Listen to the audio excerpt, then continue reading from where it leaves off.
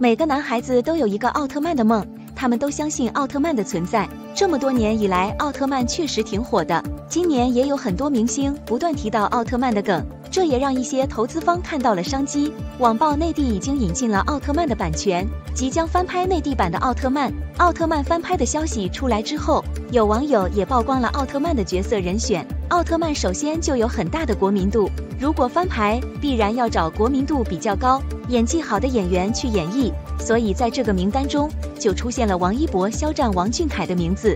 三个人还是平番，而女演员也是大家非常熟悉的，有童瑶、周也、赵露思等等，都是现在知名的演员和小花，演技可圈可点。这个名单出来后，很多网友们也被逗笑了。凑齐女演员还有一点可能性，而让王一博、肖战、王俊凯去出演最重要的三个角色，还是平番，基本是不可能的事情。我们知道，王一博和肖战是通过《陈情令》成为双顶流的，这部剧播出一年多了。两个人的热度只增不减，但因为《陈情令》是单改剧，为了两个人后续的发展，现在两个人不可能同台，也不可能有任何的互动，甚至以后合作的机会都不会再有了。另外，在经历去年的风波后，现在的肖战还没有完全复出。奥特曼毕竟是国民度超高的经典剧目，他和团队都没有必要去冒这个险。现在王俊凯手里也有几部待播出的电影。